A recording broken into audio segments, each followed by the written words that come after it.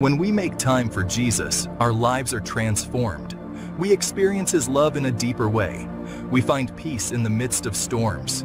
We discover the true purpose for which we were created. Sharing the good news, spreading the light. Once we've experienced the love of Jesus, we can't keep it to ourselves. We have to share it with the world. We are called to be His ambassadors, His representatives here on earth. We are called to spread the good news of His love and grace. There are many ways to share our faith. We can share our personal testimony of what Jesus has done in our lives. We can invite people to church or to Bible study. We can simply live our lives in a way that reflects His love.